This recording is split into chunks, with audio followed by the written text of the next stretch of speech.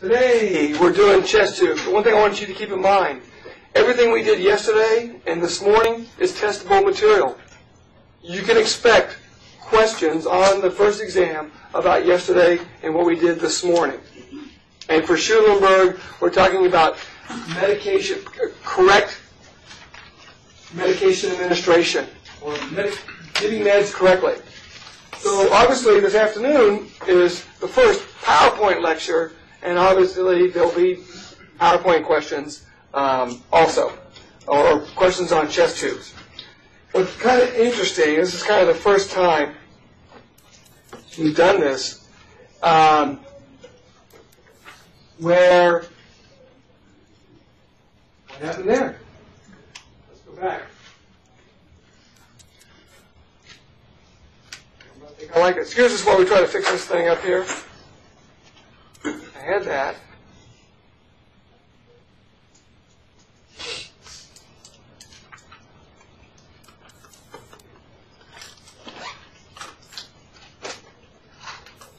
Uh-oh.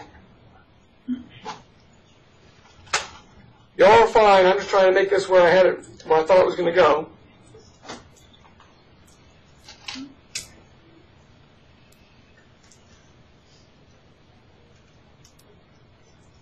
Keep pushing that.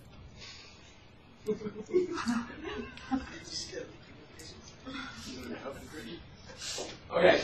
Uh, thank you. Whoever's in the audience helping me, I appreciate that. Uh, chest tubes. Um, I, again, I hope everyone came prepared.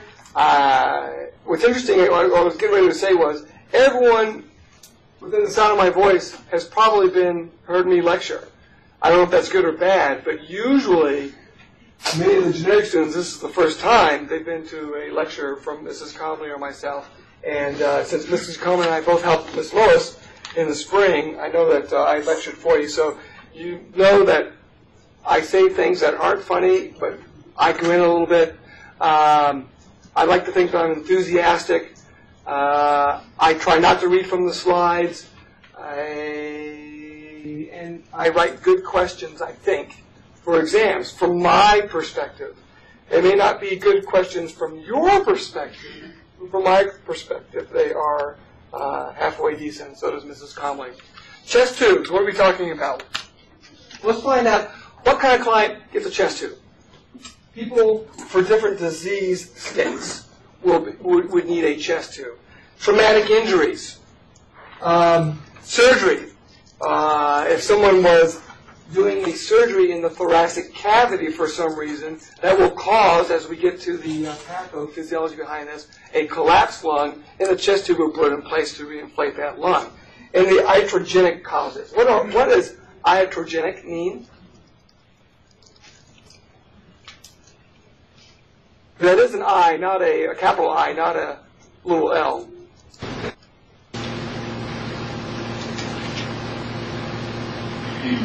I hear that, I hear no answer.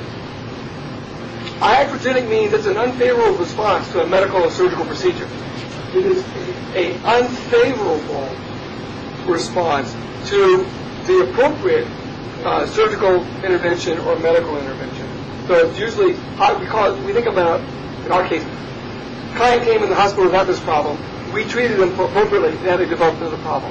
And a collapsed lung could be an iatrogenic result of appropriate treatment. Specifically, what is happening with those different issues, indications, is what happens, the client develops a pneumothorax, or a tension pneumothorax, or a hemothorax, or empyema. If, if a client has one of those, or a combination of those problems, then they uh, potentially will require a chest tube. Now, pneumothorax, proper name, you'll hear the nursing staff or the surgeon say, oh, the client's got a pneumo. That's short, not short for pneumonia, but short for pneumothorax in my experience. Um, let me tell you what each one of these are. Pneumo, you remember your Latin? This means there's air in the thoracic cavity instead of lung tissue. Hemothorax is blood in the thoracic cavity. Hemo-pneumo is a combination of both air and blood. Empyema is purulent fluid that's collected for whatever reason in the thoracic cavity. Pleural effusion is non-purulent fluid. It shouldn't be there and in that quantity, and it causes problems, but it's not um, purulent, meaning pus or from an abscess or something like that. And then hydrothorax is a non-inflammatory fluid. And I've actually never in my 30 years had a client with hydrothorax. I've had the others though. Um, you, what can happen, when you say non-inflammatory, sometimes we um, purposely inject something into the pleural space. Chemotherapy drugs, sclerosing agents, and a sclerosing agent is something that's a little, for lack of a more appropriate term, corrosive. But what it does, it causes scar tissue. What we're really trying to do is get the pleura of the lung tissue to stick to the pleura of the thoracic wall. Does that make sense? But we can purposely put an irritant in there. In fact, we'll use, pretty sure they use talcum powder. Obviously, it's a um, uh, not talcum powder that you buy foot powder at the store, but it's that kind of stuff that's an irritated, irritant, irritant, and then it causes a little bit of scar tissue, causes the tissue to stick like we want it to. I'll get more into that in a moment. Uh, why do we give the client a chest tube? Well, if we need to remove air, if we need to remove some of this fluid, or remove blood from that pleural space, this is the way we get it out of the body. Why is not going to absorb it, or if they absorb it, it's going to take way too long.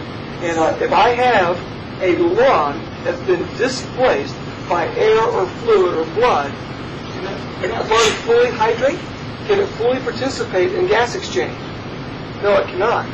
So we put the chest tube in to remove this so that, again, that lung can take part in gas exchange. Uh, we, we're going to talk about uh, the uh, physiology behind this, but we breathe using negative pressure. And what we're doing here is restoring that negative pressure. I'll talk about that in the back. It re-expands that collapsed lung. If I, can people live with one lung? Yes, they can. Can they run a mile as fast as they used to with one lung? No, they can't. So anytime someone has a collapsed lung, until their body got used to it, usually have some respiratory distress, and going to relieve that by re-expanding that lung. And obviously, by re-expanding the lung, the ventilation takes place, perfusion of the lung takes place, and uh, that's going to be helpful, obviously. Let's talk a little bit about anatomy. Uh, typically, we'll review. Uh, we have three compartments. Those three compartments are right lung, left lung, and the mediastinum. And the mediastinum is that. It's the middle. It's the media, which is the middle part of the lung. And inside the mediastinum are the great vessels. I'm talking about the pulmonary artery and veins, and the greatest vessel, the aorta. And it's also where the heart resides, essentially. Okay. And then you have your right lung. How many lobes on the right side? Three. How many lobes on the left side? Two. We have five total lobes uh, using both lungs. The you know what visceral is or viscera? So we have two pores. That's the that's the um, the membrane, and the visceral uh, pleura surrounds the lung tissue itself, and the parietal pleura is what's on the inside wall. You know, you got skin, tissue, muscle, ribs, and then you go on the other side. But before you get into the chest wall, chest cavity itself, the, the uh, parietal pleura lines inside of the chest wall. Okay? Pleural space, that's the name, but it's what we refer to as a potential space. Okay? There is space there, and it's fluid filled. But what happens when you were in microbiology, when you put a teeny tiny drop of water on two glass slides, and on one glass slide, and put the other glass slide on top of it, did they stick? Okay, so the pleural space has a little teeny tiny bit of fluid that's supposed to be there to help those things to increase the surface tension so the uh, visceral pleura is stuck to the parietal pleura. Makes sense? Any questions about that? I want to give you normal and then tell you what the problem is.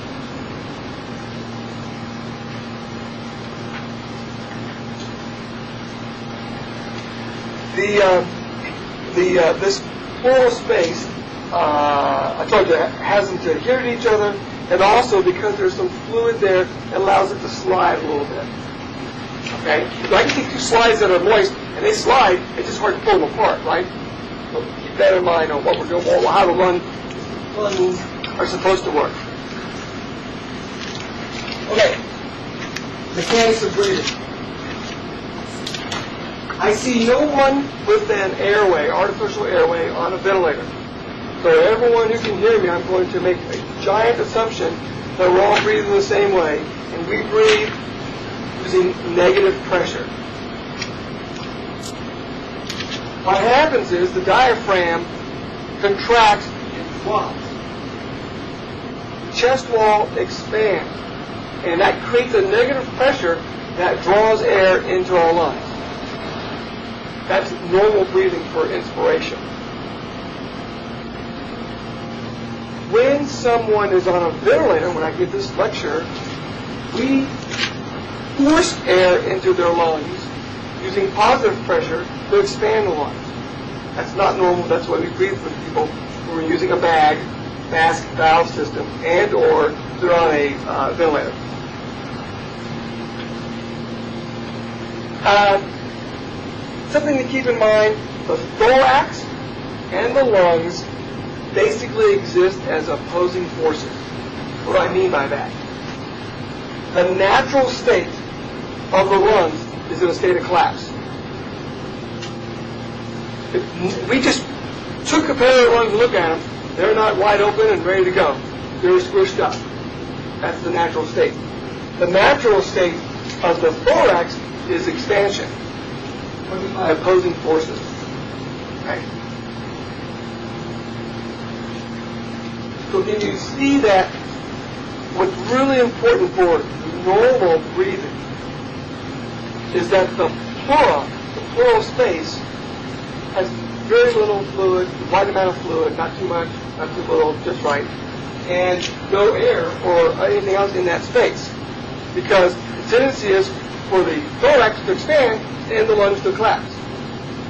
And so that pleural space is very important to maintain uh, lung expansion. This is a picture giving you some general anatomy. Uh, the what you bought, I think, had these slides.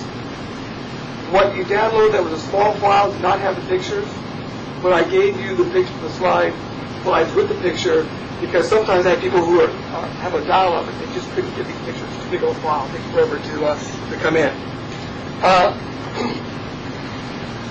what we have here, you if you can't see it, I, I, uh, this is part of the spine up here. Here's the clavicle. Scapula is this shadow back here. Uh, how do you, how many lectures, how many hours have you spent on Radiology 101? Probably zero. Do, is it a, are you going to be given a, an x-ray on the NCLEX and you have to get it right? No, that's beyond our scope of practice. How do you learn about x-rays? You make the physician tell you about it when they're on the floor with your client. So they can show you where the fracture is, where they can show you where the pneumonia is, and then you get used to because this is all what's normal and then what's abnormal for the client. Um, we talked about the mediastinum. This is the outside of the lung field. The mediastinum is the middle third. So how we decide if a client has a widened mediastinum is that this is outside these barriers as we look for heart channels. You'll see people that have what we call, affectionately, not really, a big floppy heart. That this heart muscle will be out here like this they when they have cardiomegaly or failure, they have a big heart that's inefficient. So you're looking at what is normal with the middle third, negus dium. You're looking at that area. Um, remember that air is black. So how come this is not all black? Because the lungs have vessels, vasculature. And so say, well, the, the lung is full of air, it should be black. No. Lungs should look like this. I'm going to show you lungs that aren't even inflated. That's why you see all the black. Okay?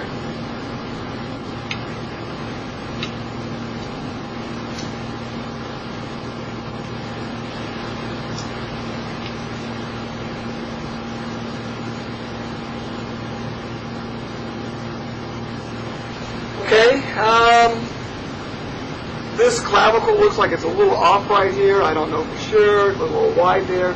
Here's what you can't. Oh, I need to go back. To look at a normal, to really know if, a, if lungs have fluid in them, you're looking at this area at the very bottom. In fact, I can't tell you how many times I've experienced doctors to send the patient back to X-ray because they can't visualize these areas right here. Because if you notice, this is where the diaphragm comes all the way down, you really can't see the very bottom on either one of these, but it's pretty darn close. Uh, that's where fluid's going to collect because of gravity. Someone stands up for a chest X-ray and there's fluid in their lungs, isn't this going to fill up right here? See what I mean? Huh? It'll look more like this. That's correct. Normal, when, it, when we want it to look right, it has this nice curve. Okay? And you can see the point of the rib, the thorax itself, and the bottom of the diaphragm that looks something like this. We're talking about down here. Okay? Just the way it looks. That's how we look for fluid in the lungs. Um, here, uh, can you see how dark that is compared to this? Okay? Well, the reason that's dark is I'm going to outline the actual lung tissue on this particular x-ray. That's the client's right lung. Okay? I outlined it, but if you were able to look at this clearly, you can see that. But the first time I look at x-rays, I have no clue. When the doctor says, you see that? You go, yeah. But you don't notice the first time because you're not used to reading x-rays. Okay? It comes with practice. Am I going to give you an x-ray on the exam? No. I'm just trying to talk about what it looks like. Okay? Pneumothorax. Talk about these different um, different conditions. Remember, pneumothorax is air or gas uh, in the pleural space. What's normal is no pressure, a negative pressure between the visceral and, and uh, vital pleura. But in this particular case, for some reason, some injury, we have air or gas that has entered into the pleural space, creating a positive pressure which prevents the lungs from adhering and be completely open. That last bullet says air in the pleural space increases the intrapleural pressure and leads to a partial and or total collapse of the lung. When I say partial, what we typically see from the ER or wherever this happened, uh, they have a simple pneumothorax less than 15%. And what they're saying is, in their guesstimation, 85% of the lung is still open and being ventilated. The collapse is 15% less. And why that number is important, I've had ER doctors tell me anywhere from 10 to 15, no chest tubes necessary. We're going to watch the client and see if, they, if this resolves on its own. Okay? A medium pneumo is about 15 to 60. And a large pneumothorax is greater than 60, obviously. Just if you hear those terms, if you read them in the medical record, that's what they're talking about. When you have a pneumo, air or gas, it can be simple, traumatic, or tension. Those are the different types. A simple one is just that. There's a collapse. Um, I've had clients who were doing absolutely nothing and over a period of a few hours felt this, meaning they had that air hunger. They couldn't catch their breath. They had no pain. They got a little restless. Got a little air hunger. They were in their 20s. And they said, I don't know what's wrong. I better go to the doctor. Do an x-ray. They have a partially collapsed lung. So that can happen. We could have like an aneurysm, if you think about uh, the blood vessels, it's actually a bleb. We can have weaknesses in our lung tissue that air is supposed to be inside, but it could escape outside the lung tissue into the pleural space. Most of the time, a simple pneumothorax, someone gets bumped, not hard, not with a baseball bat, and causes a collapsed lung. So you can have some trauma involved. Actually, I have that on the slide earlier. You can have some trauma. I've had clients who were fell, and this would be the 1200th time they fell in their lifetime, and this time they did on the pneumothorax. And then tension, we're going to talk about tension in a moment. Here's your pneumo. Woo! And here's blood or fluid in the pleural space. And there's both of them. So that was my only fancy graphic I'm going to do. Simple is a closed or spontaneous. And we have air getting into that pleural space I've been talking about, and no, with no disease state that can be related to cause this. This is the, the person's a man, thank goodness, I guess, uh, ages 20 to 40, and that small blister or bleb can open, and or I talked about blunt trauma, rib fracture.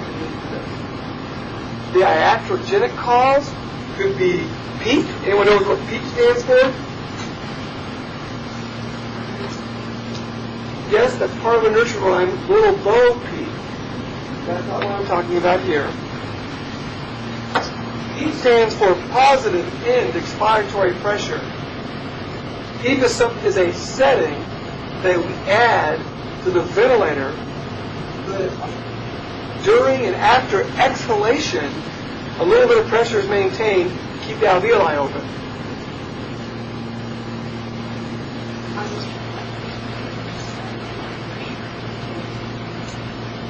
Uh, typically, if we have a simple pneumothorax as a result of some known trauma, or the client does have a disease state, then we call it a complicated simple pneumothorax or a secondary uh, simple pneumothorax. The client will be dyspneic, and dyspneic means air hunger. Is dyspnea a sign or a symptom, subjective or objective? It is a symptom and it is subjective. The client says, I don't feel like I can catch my breath, right? That's dyspnea. Uh, they can have shortness of breath. They can have chest pain.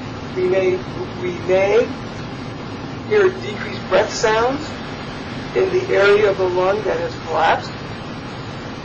We may hear no breath sounds at all. Remember when you learned in assessment to do the stand behind the client and have them take a deep breath? You may have some, a, that's when you're going to potentially see some asymmetrical breathing as they are breathing and you're observing them. Traumatic. Traumatic means something entered into the chest cavity, causing that lung to collapse. So there's a hole in the chest wall. And now environmental or atmospheric air has entered into the pleural space. Air in the pleural space, what we said before, same bullet, increases the intrapleural pressure, leads to a partial or total collapse of that lung. Uh, so penetrating injury, it can be a knife, it can be a bullet, it can be a splinter, big splinter, I guess. Okay. Also, it can be a, something that occurs. Um, yesterday, I told, I showed you uh, chest to chest with the, the CVP line, the line. Well, when the physician is putting in a subclavian central venous catheter, I don't know if you know how that how that's done. It's all done by landmarks. The subclavian. You can't put a tourniquet to make the subclavian occur. So basically, it's landmarks, and they actually put this big needle in the clavicle, and then march that march that needle under the clavicle, and right on the other side of the clavicle is the subclavian vein. Right in the subclavian vein is the lung tissue. And so you can cause a traumatic, simple pneumothorax by getting in a, uh, putting in a central line. I'm not to put any central lines, I don't have to worry about it. Put the right client. That's one reason why we get a chest x-ray right after a central line is put in. But the same thing happens with an IJ. They can, they can nick a lung putting an IJ in. Um, assessment. When we have a traumatic or a hole in the chest wall, you might be able to hear a sucking, what we call a sucking chest wound. Because the client's still breathing, you hope. Otherwise, you got other higher priorities. So you have a sucking chest sound on inspiration as the chest wall rises. And depending on the severity and how long it's lasted, varying degrees of respiratory distress noticed by the client.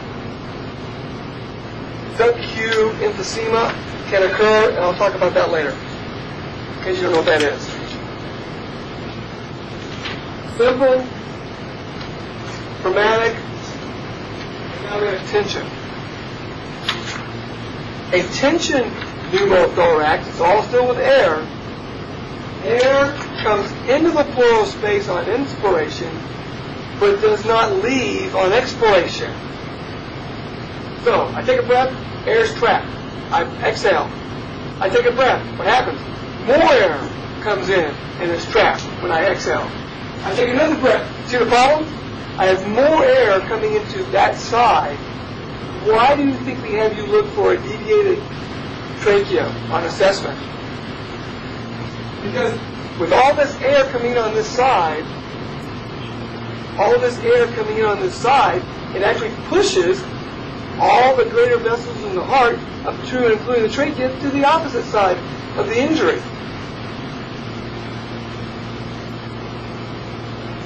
That's what the second bullet says. With each inspiration, more air is trapped. An increase in the thoracic pressure, which just pushes the heart, the vena cava, the aorta, out of position, trachea, and you get what we call a mediastinal shift to the uninjured side. This is considered a medical emergency. And when you take ACLS, you get the secret on how to fix it. I'll tell you in a moment. We'll keep a secret too, secret too long. If I increase pressure in my thoracic cavity and I'm squeezing the heart and the superior vena cava, is blood going to drain from my head into the heart like it should? You see why my jugular veins will become distended? Because all this pressure down here. Blood's draining from the brain, but it's not going into the heart like it should because of this pressure. Um, dyspnea, a deviated trachea to the opposite side of the injury, and distant because the heart's being pushed away, and um, distant, and you all this air, distant heart sounds. We may see sub-Q emphysema, absent breath sounds, cyanosis, hypotension and tachycardia, and the treatment is an 18 gauge needle inserted into the second intercostal space midclavicular line. That is cool because you save the client's life. 18 gauge, one and a half inch needle, second intercostal space midclavicular line, and it's like letting the air out of the tire. Because you've got all that trapped air. Okay? So here's kind of a graphic representation. The top one, I know the picture's in the way, but air is going in and air is coming out on inspiration and expiration with an open pneumothorax. With a tension, what usually happens is we have a flap on the inside. When I breathe, when I inspire, air is drawn in, but when I expire, the flap closes and the air is trapped inside that space. And obviously, like the slide shows, the more air, the more it pushes heart, greater vessels, trachea, everything to the other side.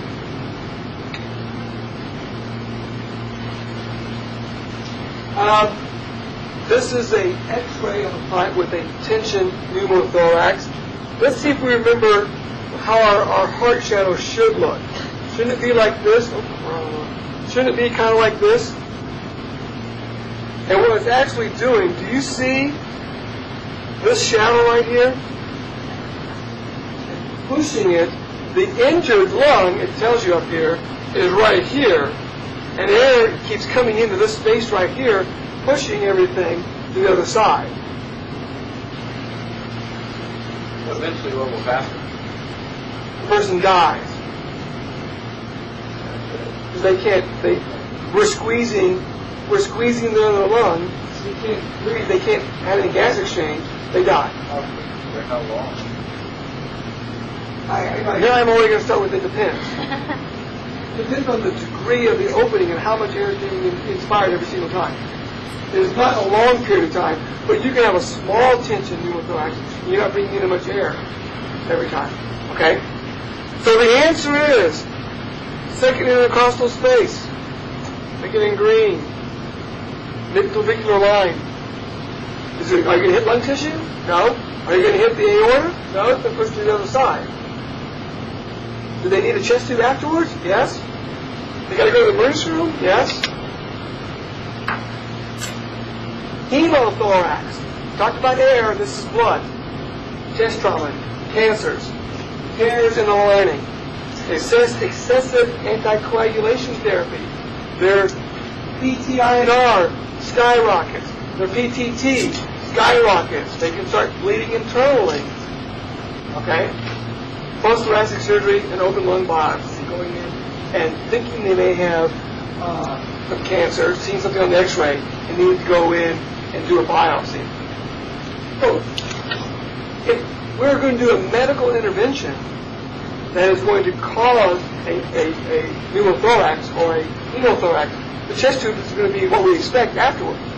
They're going to have a chest tube. That's the therapy after we surgically enter into the thoracic cavity. With blood or hemothorax, uh, hemothorax client's anxious, decreased raps and breath sounds, or, or depending on how much bleeding there is, can you see where they can be pale? Can you see where the H and H would drop? If this was unbeknownst to us that they were bleeding, um, all the same problems of the pneumothorax as far as shortness of breath, uh, dyspnea, uh, rapid heart rate, rapid uh, uh respirations. But in this case, they may have a rapid heart rate compensating for the hypovolemic shock they're going into because of losing blood volume.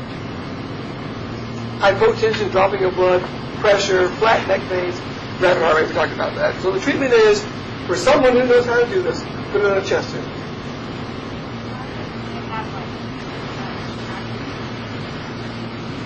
Well, okay, good, good question. Where crackles when you listen to it? Inside the lung. Blood now has occupied the space where the lungs would be. We're not saying there's blood. This is not pulmonary edema fluid in the lung tissue itself. This is fluid between the lung tissue and the chest wall. So you're not going to hear that. Yes, percussion changes, absolutely. Uh, and breath sounds change because the lung doesn't expand. You hear absent breath sounds are diminished versus crackles or anything like that.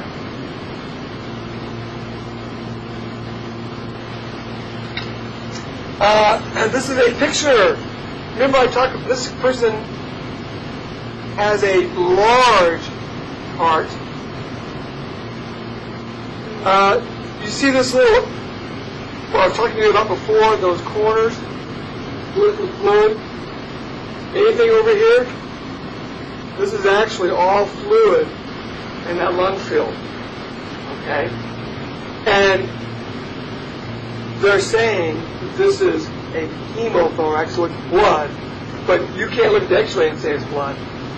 So I wasn't there. This is, I've been told this is a hemothorax, but this is fluid uh, occupying that space. Anything over here? You see a little bit of a shadow here. It goes down right about there. Little, little hard to see there, but definitely nothing in this space right here. You agree?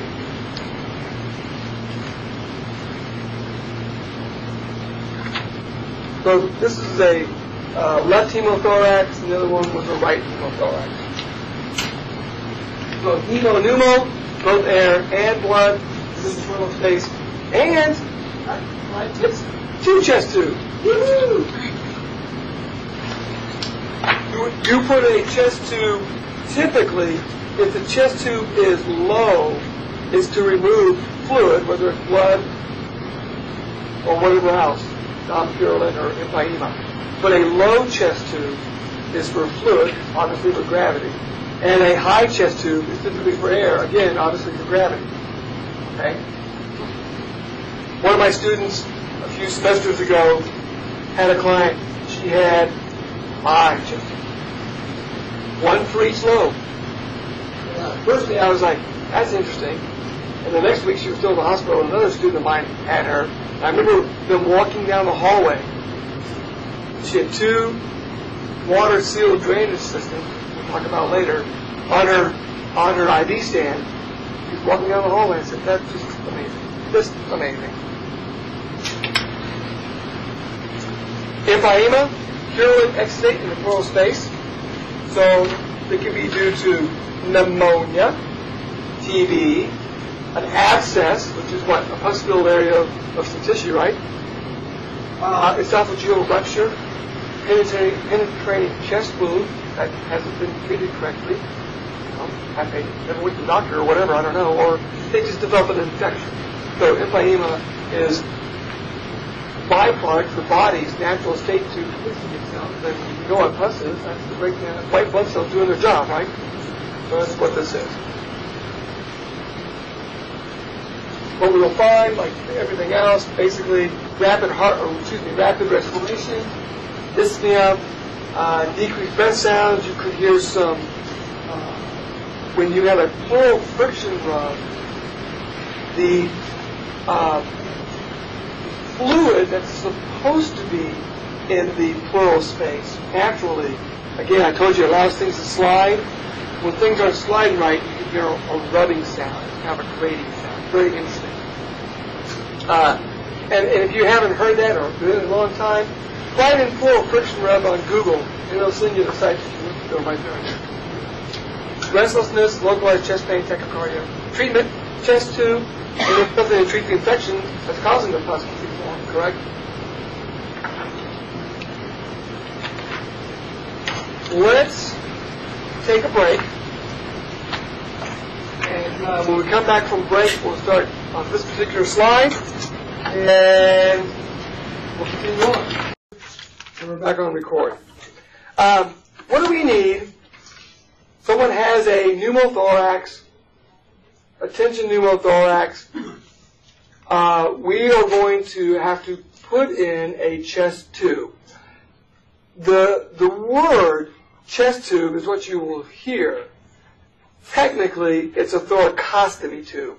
When you think about it, where is this? What's a, what's an ostomy? An opening, and this is an opening in the thorax, and we're actually putting in this uh, tube into that opening, and I'll explain it a little bit more. Let me show you. Let me hold up a chest tube. This is a brand name. It comes in. You talk about something that's kind of large. Uh, this is not the tube. This is the container it's in. Here's a container that's sealed. And this one says it is a 36 French. So it's on the system as uh, Foley catheters are in. They're not gauges, they're Frenches. I'll tell you about it. This is a 24 French. So you take the top off, and this is a sterile tube. Uh, I'm not going to pass this around. I'll tell you why. I may, but I'm going to take the sharp pointy thing out of it, which is this thing. And this is just like an IV catheter. This is the part that goes into to make room for this more flexible tube itself. Does that make sense? So this is the stylet. This is the needle, like an IV catheter. And yes, it's sharp and pointy, and it hurts really bad. So I'll remove this large knitting needle, and I will pass around a small 24 French thoracostomy tube. This is a small, this is more like a real small person or a, a child size. Is the patient put or are they just? The question is, is a client put under? No, the client is awake many times. And it looks really, really, really painful. I've watched people, surgeons, doctors in the ER, put this in. And not only does it look painful, the physician who's doing it struggles. If you've never seen it, I had this, the first time I saw it, I could not believe how much exertion the doctor was doing putting this thing in. I figure IV, poke a hole, put it in, no big deal. No. They struggled and struggled and struggled. And part of it is, you just can't imagine how tough your intercostal muscles are. They're tough. And what they're trying to do is get this tube, and, and if they're going in a place where the wall hasn't separated, they've got to use blunt dissection, and typically a finger is what's used, because they don't want to pierce any tissue that's there, and so they're trying to run up the wall and blunt dissect in order to get the um, uh, the chest tube in correctly. Okay. Is there a local Yes, there is a lo- if, if, if they don't like the client, they give them a leather strap or a bullet. If they like the client, they do a local anesthetic. No, they're going to do an incision. They're going to use a scalpel, a blade, and they're going to they're going to. But it still seems difficult. Okay, um, these things are made so that they are less likely to have clots form on them. The body's natural response to a foreign object inside. Uh, they are marked. They have a line on them that will show up uh, as radiopaque, meaning that on X-ray you'll see it. It has marks on them, so we know when the doctor's done how far it's in, so that next day we want it to be just as far, unless we expect someone to pull it out a little bit, okay, unless it comes out by accident. Um, and the markers so that we can see it on the X-ray. And yes, there are a variety of sizes. They vary, they vary from 20 French to about 42 French. Is what the pardon? Okay. Why would you want a real big one? You get the blood and clots out, right? Air, no big deal. You've got fluid. you've got to have the holes big enough to get those that blood clots out, which could happen. Uh, what do you need if you are the nurse? And the doctor says, quick, we're going to put a chest tube in your patient in room whatever. And you're going to go, what do I need? And they're going to say, what kind of nurse are you? You go, I'm a new nurse. What do I need? I'll give you whatever you want. So, does everyone need to be a gown, glove, mask? Yes. Okay. Surgeons, uh, whoever's doing it, doesn't have to be a surgeon, uh, and anyone who is assisting. Should you get some betadine or whatever you're using to cleanse the skin? Because this is done in the bed in the client's room. Maybe. It's in the evening and there's an on-call OR, OR team and they're not in a hurry and they want to take them down to the OR, okay. But these are done in the emergency room on the gurney, in the room, in the client's regular med-surg room. Uh, local anesthetic, yes. Scalpel, yes. Hemostat, yes, to clamp off the tube. Suture material, because they do suture the tube to the skin so it doesn't get pulled out by accident. Petroleum gauze, yes. The petroleum gauze is to make an airtight seal. Remember, now I've put a hole in the client's chest wall. I have to seal that so air doesn't leak in or out. Mostly important in. Still con- connecting tubing. Tubing from the tube itself that's being passed around. Sorry, Schulenberg, uh, you can't really see this. I'll be glad to demonstrate it more closely on the, uh, the camera I have up here. Um, we have the spindle tubing going from the tube that's in the client's body to the drainage system. Speaking of the drainage system, we have a drainage system. Uh, if we're going to use vacuum, we need a source of suction and tape. And typically we use the old classic, really adhesively good sticky, sticky tape that once you put it on, you're never going to be able to get it off. In most units, most units will have a, a, a chest tube tray on the floor, in the supply room, hopefully, oh, uh, in the supply room, which is when the doctor says, we're going to put a chest tube in, you're going to go, I'll go get the chest tube tray. Okay? Uh, this is a particular kit from a particular, it, it does not, typically, it does not have the chest tube that's a separate item because they come in very variety of sizes and the doctor is certain. Your doctor tells you what size they want you to get and you grab the tube that was passed around separately, get the kit, and that's the contents of the kit. And basically the things I talked about are in there. And when I was talking about it, it's not on the, it, the slide, it, those, those items were on that slide that wasn't on the screen when, I, when you had me. Uh, and besides the kit, you need the chest tube tray itself. Sorry, the water sealed drainage system. This is a brand name, Atrium. Atrium is a brand name. The most common brand name in my experience is a Pleur-evac. Pleur-evac is a brand name. It's actually a closed water sealed chest drainage system would be the technical term. And in this particular case, I have a live one. This is what we're talking about. And you have a picture of the atrium from the company Ocean, I guess, right there in your textbook on like, 700 something. I'll tell you when I get to the slide what page it's on. Okay? And I actually cannot turn this. This is filled with fluid on purpose. Okay, it's really hard for me to, because this is like the mirror image. If I want to go that way, I have to go this way. Um, this is the same thing that was in that package. I just want, here's what I want to show you right now. Oops. This is the drainage collection chamber. So it's the collection chamber. This right here in the middle uh, is the water sealed chamber.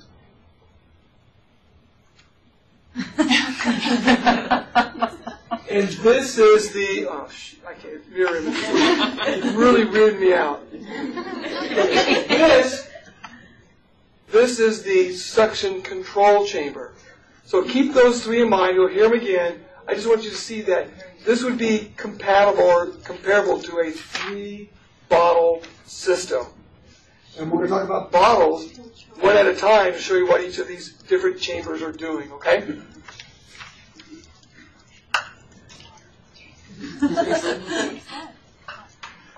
um,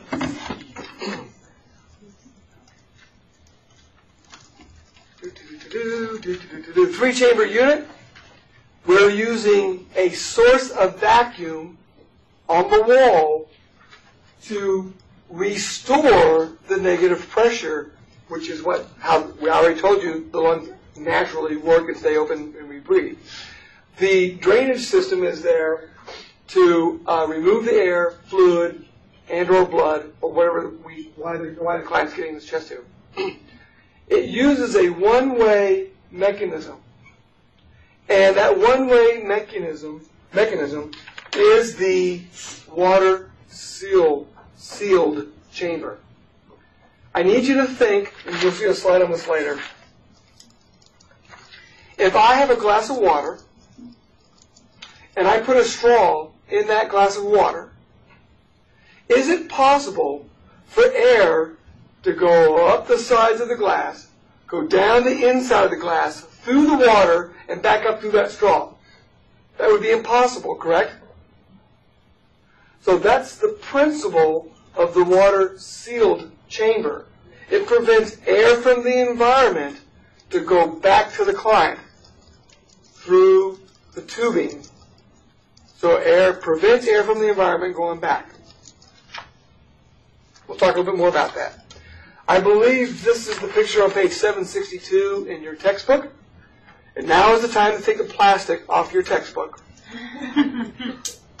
um, the one on the left is, in my experience, much more common in the clinical setting. This is the one that I showed you. This is the collection chamber. this is the water sealed chamber, and this is the suction controlled chamber. And they do exactly what they say. So I should say drainage collection chamber if you want three initials. Uh, if I'm removing fluid or blood, it you can't tell. See this right here? That's the Christmas tree connection, the adapter, that's going to go on the end of that chest tube that's inside the client's body. And you can't see this, but this tubing, if I could draw it behind, is actually right there. Okay? And so this is going to go to the client. Does that make sense? And so any fluid that's removed from the client is going to start right here and start filling this up. And these things actually hold about two liters or more. So you don't change the drainage system every eight hours. Because if the client bleeds out 2,000 mLs every eight hours, the client has serious other issues besides their chest tube. So these are made to have two liters worth of fluid because they last usually the whole time the client needs a chest tube. Usually. We can change them out, but usually they last the whole time. Um, how we document the output is interesting because if I, at, at the end of the first shift, I'm going home and I'll write 3 September at, uh, I'm going home at 7 o'clock, at 1830. Next morning when the nurse is off, they're going to come over and write right here, 0630 for September. Does that make sense? So we don't drain this, we just continue to mark and then do the math. We are, we're at 80, the next shift is 140, the client had 60 mLs out that particular shift. This is the water sealed chamber. And let me go a little bit further.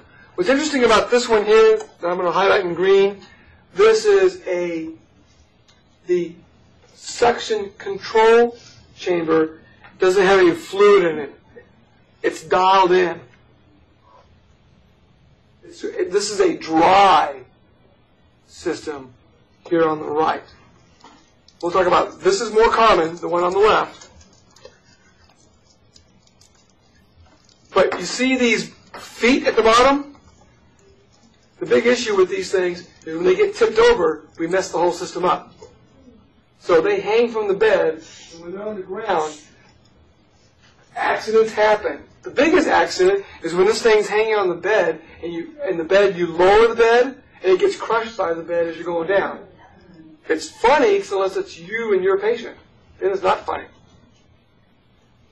Uh, let's talk about the water seal chamber. Pretty small. This is a single bottle system. In this particular case, if we were using a single bottle, bottle system, this would be a combination collection chamber and water seal chamber. Any fluid leaving the client would come down here and raise the level of this volume. It's underwater, and typically, if we were, I've never seen a single bottle system in my practice. The point of talking about it is the principle of what's going on in the fancy plastic when it's all enclosed. Typically, your straw is always two centimeters into the water. And remember two centimeters because that's the fill line on the complete water sealed drainage system. And it's marked right on, you're going to see a slide, it's marked right on the chamber where two centimeters are, where you fill the fluid up. It does make breathing harder as this fluid level rises. So in this system, you would always be raising this straw to where it's always two centimeters below the level of the uh, fluid. Just keep that in mind. Don't fret too much. The water seal chamber is what we're talking about. So that one bottle system had the water seal and drainage collection. On our system that I showed you by the, the document camera and that we had the other slide, this is kind of just a blow-up of that particular part of the, that middle chamber on that particular brand of the closed water sealed drainage system. Now, is this client on a ventilator? I haven't, this client just has a chest tube. They're going to be respirating normal. They're going to inhale and exhale normally. What do you think happens to this fluid level over here where it says zero when they inhale? Does it go up or down? When we inhale, we create a negative pressure. So uh, you're absolutely right, Nikki. It, it tidals. What's a tide? It's a laundry detergent. What? That's not a tide. That is tide. What is a tide? That's the water level, right? Tides come in and come out when we have uh, we live near the water. So tidaling is this up and down motion. So with negative pressure, it's drawn to the client. Remember, the client's over here.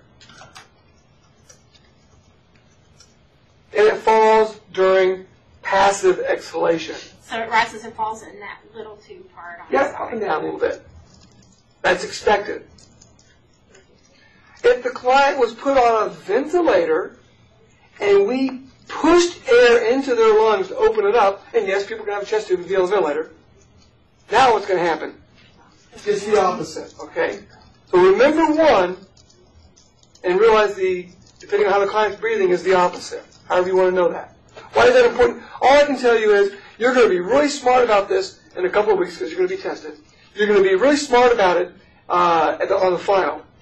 But two years after practice, you're going to get your first client with a chest tube, and you're going to forget everything how it works. That's what I see in clinical practice all the time. Nurse, the nurses forget how this thing works, and so they don't know what's normal and not normal when they're looking at it, when they're assessing this equipment to see if it's working right. So I want you to kind of remember what is right, so that you recognize something that's abnormal that you got to either do something about or call someone about. Can you say that again? It's normal. Which one? I was born. Yeah, yeah. The part that um, if they're respirating normally on their own. Okay. We breathe by negative pressure, and that's going to draw the fluid back to the client, which is in that direction. Okay. So it rises with inspiration, normal res- respiration. It falls with normal expiration. And it's the opposite if they're put on a positive pressure ventilator. So rises with inspiration, falls with expiration, opposite on ventilator. A positive pressure ventilator. That's significant later on. Um, should there be any bubbling? Well, look at this. Is kind of pretty. They have little bubbles right there. Should there be any bubbling in the water seal chamber? Say with me. It depends. When you put in a brand new chest tube with a client that has air in the pleural space, and we apply a vacuum, are we going to be drawing the air out of the client? Yes. Will the air bubble through here? Yes. Here's where air in there is abnormal. It's abnormal. You make your 7 a.m. Uh, uh, assessment, and there's no bubbling in that chamber. Two hours later, you come in, and there's bubbling in that chamber. Now you got to investigate. Because once the air is out of the pleural space and the um, lung is re-expanded, more air in that space, something, something, something's changed. It could be no big deal or a very big deal. So the answer about bubbling in there, brand new chest tube, yes. But once it goes away, if it comes back, we got to investigate it find out why it's back. There can be an air leak in the system. And if air is leaking into the system towards the client, then it can be drawing air in, it causes more air, that will cause air bubbling in that particular chamber.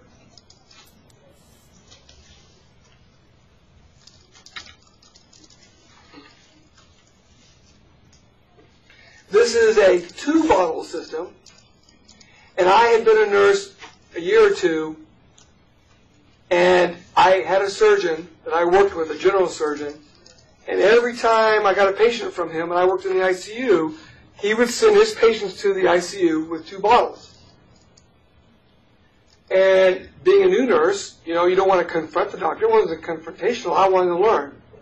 Doctor, doctor, why, when we have fancy plastic all-in-one, are you sending me patients with glass bottles?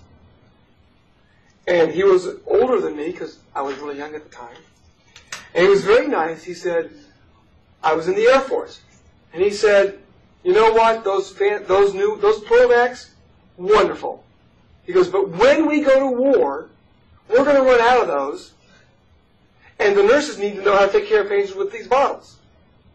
And I'll tell you right now, I hope everyone in this room goes on a medical mission. And if you go on a medical mission, you know what? You may have bottles. And not the fancy stuff that you have at the fancy hospital in the big city. So the principle, I, I, I was thinking, my, his patients are getting inferior care. No, they're not.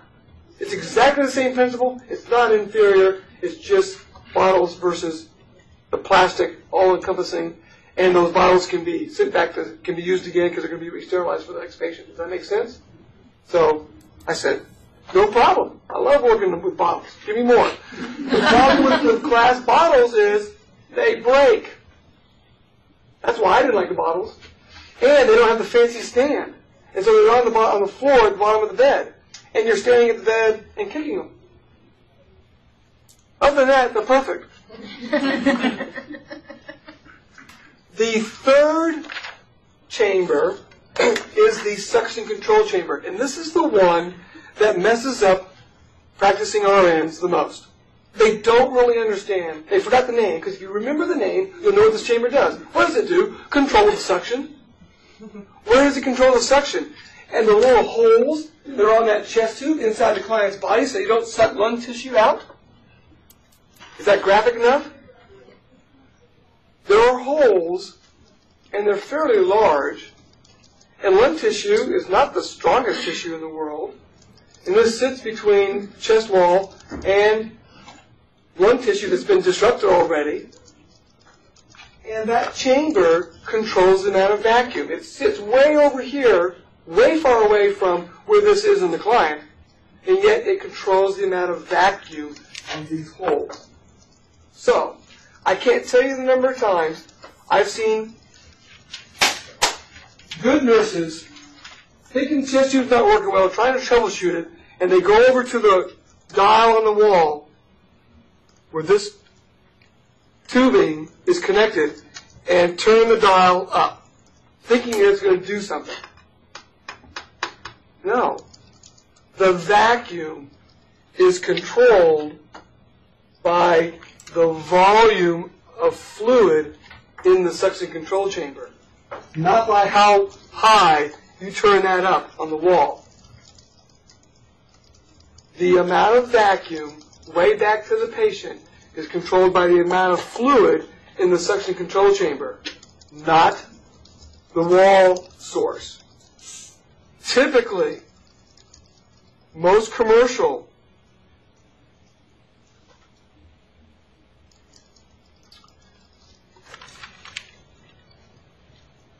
typically most uh, commercial products they the line to fill it up with fluid says 20 centimeters or centimeters, however you want to say it, 20 centimeters of water. Okay? So what really happens, what, what it is, the vacuum has to overcome the 20 centimeters of water to apply suction. When the nurse goes over and cranks this up, all that happens is more air is drawn in from the environment. And it bubbles like crazy. Versus the gentle bubbling, which is supposed to happen when it is functioning appropriately. And what happens when it bubbles vigorously, because the wall vacuum is too high, is it all evaporates. And this level gets lower and lower and lower because it's all bubbly. It's like sparkling water, and it all, it all evaporates faster. If the water is lower, does that cause higher? water, if the water le- uh, fluid level, water level in the suction control chamber is less than 20, you get less suction at the client. So essentially, you just made it worse. You may not have enough vacuum or suction to keep the lung expanded. many times clients are, um, they're very, very sick clients, typically clients with cancer, their problem is due to neoplasms. They need a higher level of vacuum to keep the lung expanded. And so they'll use other systems to have that higher vacuum, that higher suction. And if you noticed, back on that slide that had the dry unit, it had a 30 slot. It had a 40 slot. So you get 40, the equivalent of 40 centimeters of water pressure, negative pressure, for vacuum. Dry, oh, no, no, not on here. Dry, same three chambers. When, what, the noise you hear when you walk into the client's room is that bubbling in the suction control chamber. Well, a dry unit obviously doesn't have that. You don't have to keep the water level at the right level. There's no evaporation. We may see these more. I'm going to guess they're more expensive. Uh, they are appropriate for clients that need, excuse me, higher levels of uh, negative pressure. What's our responsibility as a nurse? Well, let's talk first. Help me. Tell me what you're, what's unclear.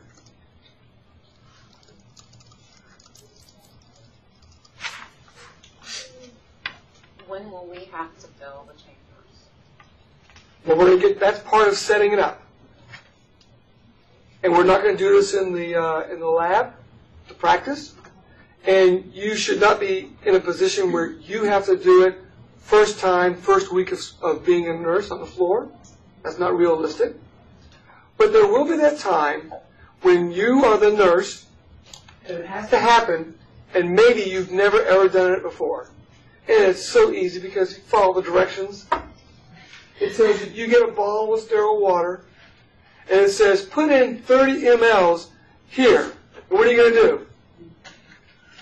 Put in 30 mLs. So follow the directions on how to fill those different, those two, you fill two chambers. The water seal chamber to a certain level, and the suction control chamber to a certain level, and the directions are right in the package. Because I remember the first time I didn't have someone around. I've been a nurse for a couple of years, and I said, oh, oh, oh, oh, I'll read. I'll read. Because, you know, it, you're, you're in a hurry, but it's not, the doctor has to get the chest tube in before you, before you attach this. So while they're getting the chest tube in, you're making sure this is ready. Okay? Helen, you had a question? Yeah, that means the way I understand, I don't know, I could be wrong. We expect to see bubbles on the suction control, but not on the water seal. Okay, I'll repeat that. Brand new chest tube. There's air in the pleural space. Bubbles in two of the three chambers. Water seal and suction control. If it's hooked up to wall suction. And I say if because before, usually before you take the chest tube out, they put the chest tube strictly to gravity. We're not using any wall suction. Same piece of equipment. We just turn this thing off or unplug it from the wall suction. This is going to the client, right? And we just take this and turn it off. That's gravity. Same system, we're just using gravity. We're using the vacuum because well, before we can take this out, the lung has to stay expanded, right? So removing the vacuum, the negative pressure, will indicate to us, with a chest ray the next day, we'll say, oh yeah, client went through the night, chest, the lung didn't recollapse. And we don't have any suction on it. Okay? So there'll be no bubbling if you took it off the wall. Yes, ma'am. I have a question on something you mentioned earlier. What is this sub-Q emphysema? Um, so the question was, I purposely, thank you, we didn't have anything planned ahead of time. Uh, I didn't describe sub-Q emphysema the first two times I mentioned it. I, it may come up, but I'll tell you now. No, it is going to come up. Can you wait till it come up? Yeah, yeah. Oh, okay, good, good, good. It's going to come up. Well, what's our responsibilities? Um, we're going to assist. We'll make sure the client's in the right position. Typically, if I'm going to put a chest tube, or not me again, if the doctor's going to put a chest tube on their uh, right side, then I'm going to position them on their left side with this side up and exposed, uppermost, so they, the, the physician has access to second intercostal space, fourth or fifth intercostal space, wherever they're going to put this chest tube in. Okay?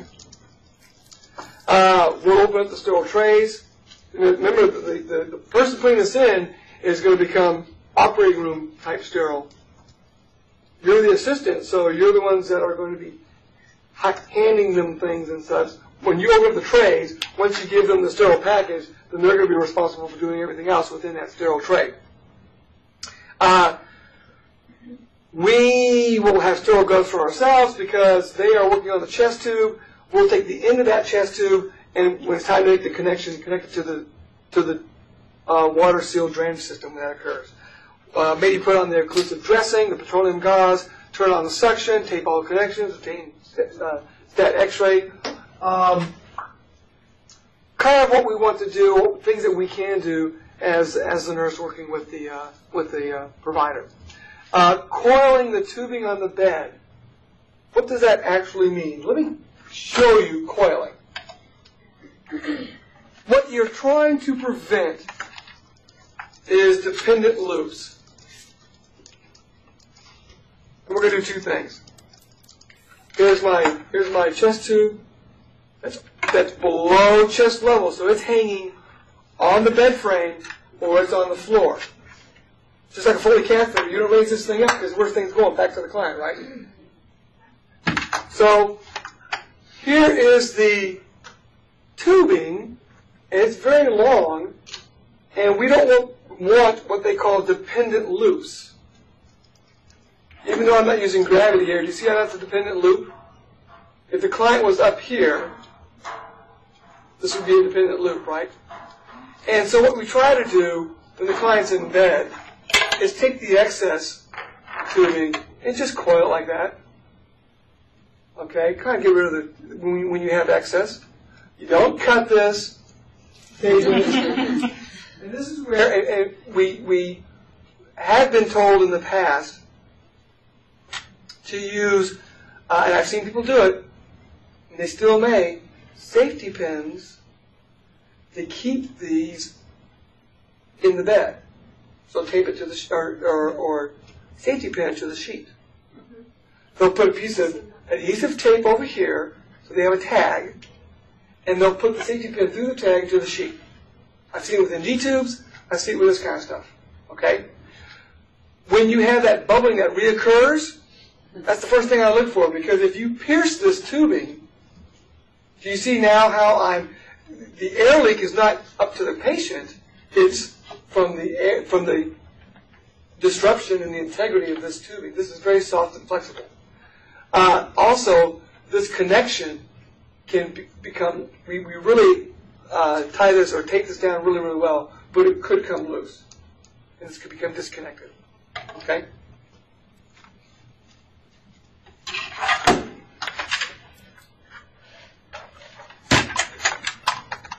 That's what we mean by coiling.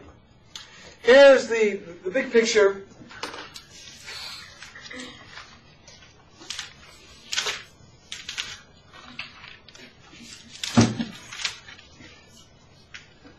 Big, this is exactly in your book, right?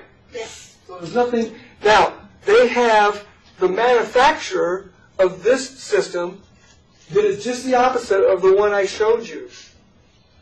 Because the drainage collection chamber is on the left side versus the right side. But the water seal still remains in the middle, and the suction control chamber with 20 centimeters of water at that level is on the other side. It's just the mirror image of the device I have in my possession. And that one over there, the top little tube is the one that goes to the wall suction if you were to use it. That's correct. And that's, that's, that is this tube right here. And I know the picture's in the way, and what that says is to the suction source, or air, air means you don't, you don't take it anywhere. It's just open to the environment. How long would you leave it on the on the wall suction? You leave it on the wall suction until the client's recovering. And you wouldn't take it off the wall suction unless you have a problem, Right. and then you call calling the doctor. So uh, the decision is, it's been long enough, chest x-rays look good, the decision is put on, on gravity drainage, and then usually 24 hours after they've been on gravity drainage, it comes out the next day. That's what it'll say, a DC to gravity drainage or something. For now, that's right, right. Okay, so we got. This is kind of nice because it shows you where the chest tube is inside the inside the physically inside the client. I told you yesterday, and if I didn't, I meant to. I always want you. You will greatly improve your nursing skills if you really and truly understand when something enters the body, where in the heck is the other side, and what's it supposed to do. We want to know. We need to know what it's supposed to do so we can identify and troubleshoot when it's not doing what it's supposed to. Um, nursing care after insertion. Chest tube is put in. Uh, we assess the following: the client's respiratory status. Uh, we get a full set of vital signs. To me, I believe vital signs include pulse, BP, respirations, temperature, pain, right? And O2 sat. That's what I think a full set of vital signs are. If you're on a unit where you can't get an O2 sat, well then you can't get it. Well, we know that we have five vital signs, right? So we need to assess that. Don't, what do we, is, if I told you their blood pressure, client's blood pressure is 120 over 80, would you say good or bad? The answer is, I don't know. What was it before? Any number for vital signs in isolation does you no good. So take that as a hint. God, I tell my students, you come and you give me a set of vital signs, I go, what else? Well, those are the vital signs. I said, I understand, but that doesn't help me to know whether, because if their blood pressure is normally, they walk around every day of their life, 90 over 60, is 120 already good? No, they're hypertensive for that client. Okay?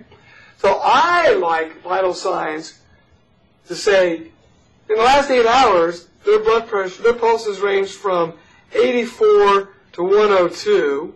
Their blood pressure has been 70, I'm sorry, uh, okay, 78 to uh, 110 over 58 to 80, and vice versa. That gives us a better picture on the client's status currently, doesn't it? I'm saying this because you should have pre-vital signs before they put the chest tube in and post-vital signs. And we expect pulse to go down, blood pressure to go down, uh, respirations to go down, O2 sat to improve. Pain may go up, but other vital signs seem to improve. Meaning to be descriptive. If it's bloody drainage, it's sanguinous, right? If it's pinkish, it can be serosanguinous. If it's serous, it's serous. If it's pussy, it's yellow and green and gross looking. Okay, so we got to be uh, descriptive in our. I always tell students, if there's something coming out of the client's body for drainage, I need to be, you need to be descriptive. How much? What it looks like? Clear or cloudy? And if there's an odor, what is the odor associated with it? Uh, chest tube, some risk and complications. Uh, bleeding, because we've entered the client's body, there's always a chance of bleeding. Infection, and subacute emphysema. There's that term again. Uh, you know, let's talk about bleeding. Can we accidentally, not we, the physician, now they're gone, it's our client, lacerate accidentally a vessel when we're putting this chest tube in? Yes. Uh, the client is at greater risk for infection the longer the chest tube's in place. Subacute emphysema is exactly what it sounds, sounds like. It is air that is collected in the subcutaneous tissue. Where does air want to go? Up. Correct? I remember my first client, early in my nursing career, we put a, we, the doctor put in a trach a train. And I was in the ICU when this was occurring.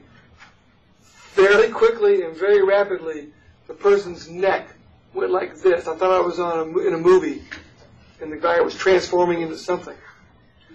But air had started leaking into the subcu tissue, and it just made his, it distended, because this tissue is very stretchy, right?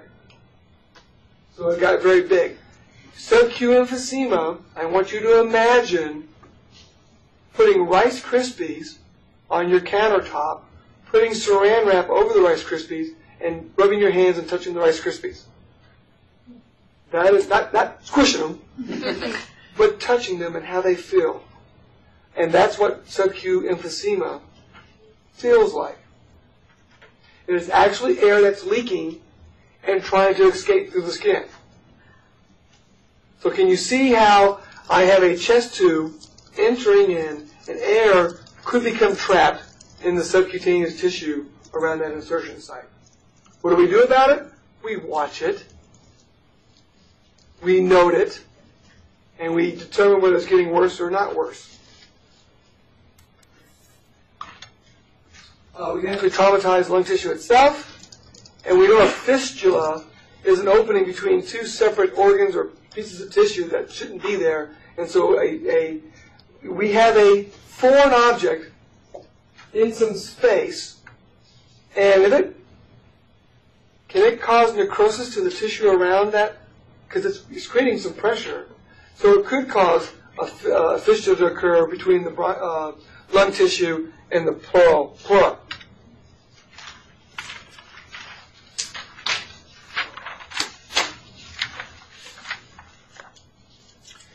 Let me um, let me ask a question. I know what the answer is probably. Do we want a short break, or do we want to go for 15, 20 minutes and be done? Fifteen, twenty. Be done. Be done, we vote here. How about Finish, boss. minutes? Keep going! I can go third. Okay, just push it. Okay, we're going to keep going. And, I- and I'm not going to slow down, but I want to make sure you get the full lecture, right? I know all the information you need. So when we're done, if you want to come up here and touch things, I haven't showed Chester, because I do have, let me show you something that I haven't shown the, uh, the, uh, oops.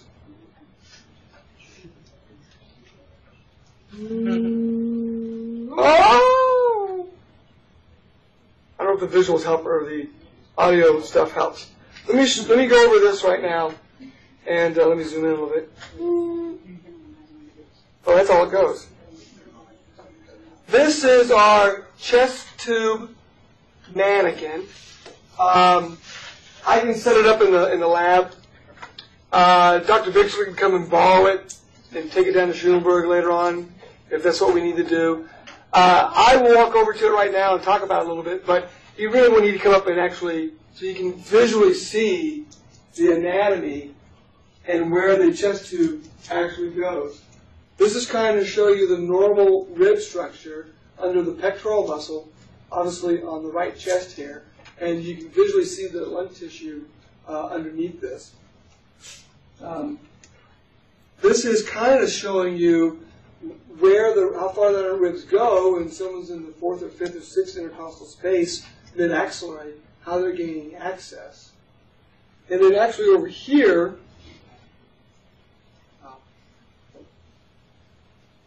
this is something that they would use in ATLS, Advanced Trauma Life Support, or ACLS, and they actually have a mechanism. This is puncturable to do that tension pneumothorax intervention. Okay. And yes, I think you do get the sound. And then actually over here is uh, a way to have the chest tube inside the client. Um, and there's some neat things that we can do. It's just, you know, if we had more time for a simulation lab, we would set this up. And uh, I have set up mannequins before, SimMan, and, uh, and done some more things. This kind of shows you more of the anatomy and stuff on where this actually is. So if you want to, after this lecture, you can come up and look at that.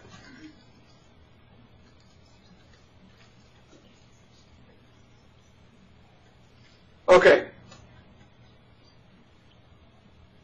What we have is documentation uh, after insertion of the, uh, what are our responsibilities? Well, obviously, our highest priority after safety is ABCs, airway breathing, so we are really focused on the client's respiratory status. If they were dyspneic, short of breath, um, rapid respirations, so we want to see them, we, we want to see the improvement, the change. Uh, vital signs before and after we talk about that. We need to know who put it in. Dr. So-and-so. Don't tell housekeeping. Dr. So-and-so. We need to know what size the chest tube is, where it was inserted on the body. What's missing from there is to how far, on what marking on the chest tube itself. Uh, they're marked in centimeters, 2, 4, 6, 8, 10, 10 uh, 14, 16. We would say uh, 14 centimeters. Whatever's sticking out, the first mark that we see sticking out of the body is what we're documenting. Does that make sense? Because we always need to follow up one hour later, two hours later, the next day. Has it been pushed in further, not on purpose, or has it been accidentally removed some? They are sutured in place. There will be black suture surrounding this outside the client's body and actually sewn into the client's skin. But if you've ever seen one, someone take out a huge inflated balloon from their bladder, they can actually get this caught on something and, and, and, and rip the skin and pull this out some. Yeah. And you, you think, oh my gosh, that has to hurt. It's amazing how, because a client with, with multiple issues or has so much pain going on all the time already, that's, that, that didn't hurt anything worse that's going on with them. So they not, may not know. We're going to document the amount of suction, and remember that equals typically 20 centimeters of water.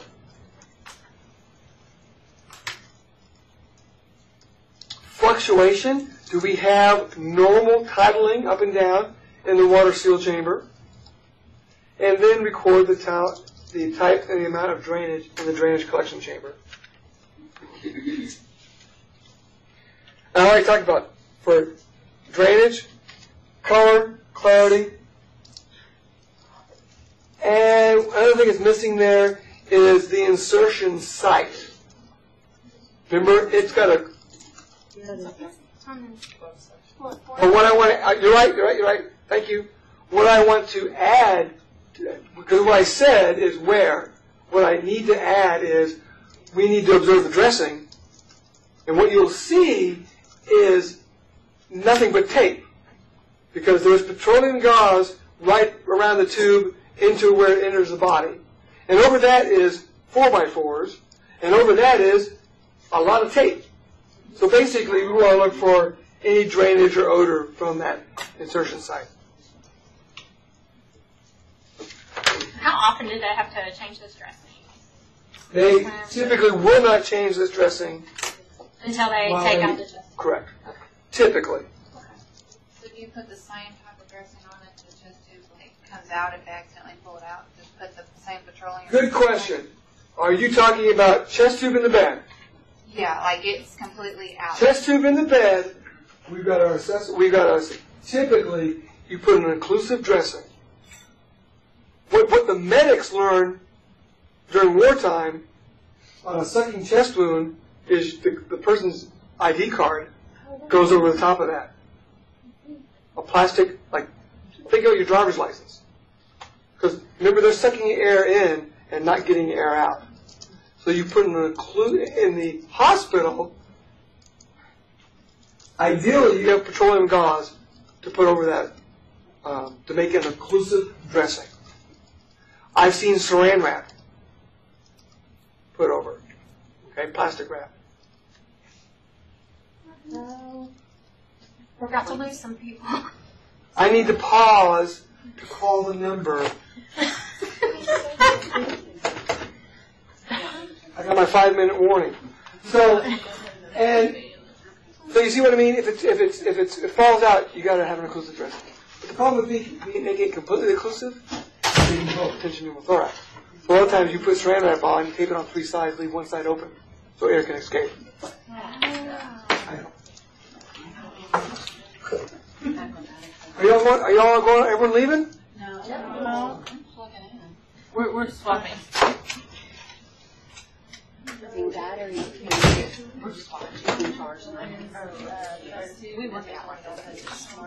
I'm afraid that if, the, if we lose connection, Schulenburg and conference room, that means I'm going to have to call a break. And they're not answering the phone, so. Mr. Hutton, while we wait for this, just a reminder, if you're going to go to the newborn ICU at College Station Medical Center, the orientation is tomorrow, full uniform, 9 a.m. at the lobby. Dr. Bixler, Yes, sir. who in, and Bryan would that pertain to? I think there's about nine students in the Bryan area that are going to College Station Medical Center. Is that for OB or PEDS? It's for PD. That's the first They one. know? I don't know anything about that, uh, and we'll try to find out. Do they know who they are? That's the first one. Do you know who they are? Yes, I do. Oh, I will, let me get my list. I didn't bring it this time. I don't know where it went. Well, I'm not going. I'm not going to thank you. I like it. Oh, that is not what I thought. Dr. Bixler, are you gonna let us know who we are? She's gonna get her list from her office. She will be right back. Thank you, Tammy. I apologize for that screen saying it's going to. I was trying to get you. I want to go home too. Let me go find the people because I couldn't get them on the phone. If we lose connections, you can take a break, and by the time you come back, hopefully everything's back up. Okay? I apologize. Three thirty, at three thirty, uh, Thursday.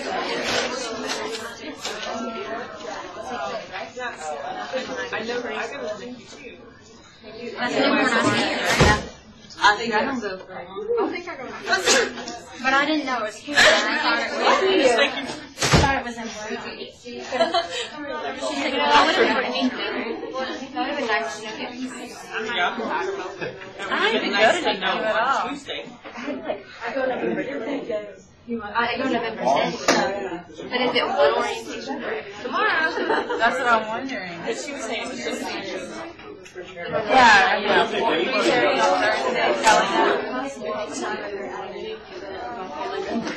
Three thirty on Thursday, California. You know, uh, And what? No. Yeah. More. What? Yeah. I don't go at all. What's the between and? One's in Bryan and one's at the one's M is med, B is St. Joe's. Oh, well then Kathy, you show that. The man, the, the what? Yeah, that's right here. Maybe.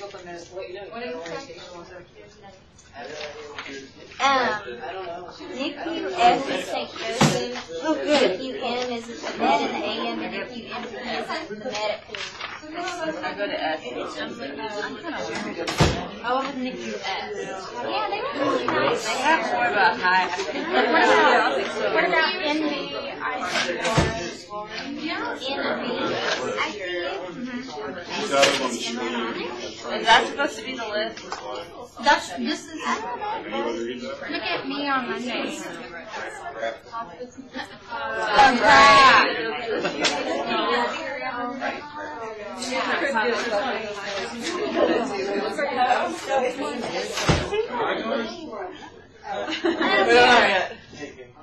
It's only two thirty. That would have been the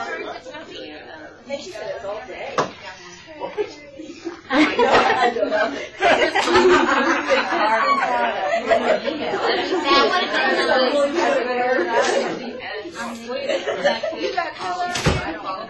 if it's on the What are you? That's what I'm saying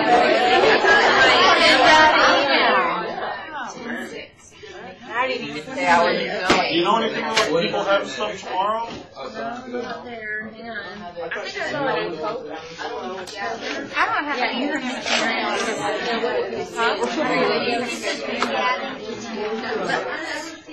Seven two oh. Seven five oh two is present. You want that number? Yes, I- on my list here, when I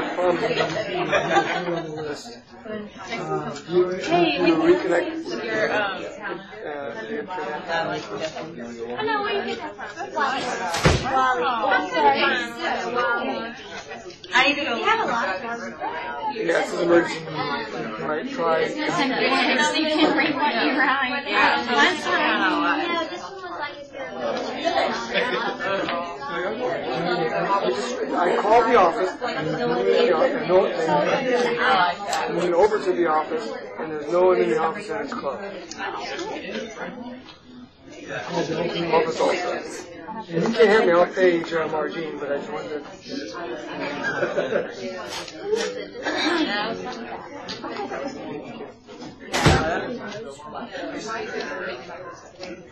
Actually, I think